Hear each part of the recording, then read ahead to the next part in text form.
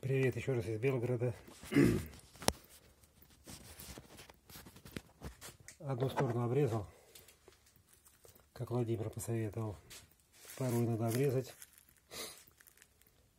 Потом поставить его подшипники.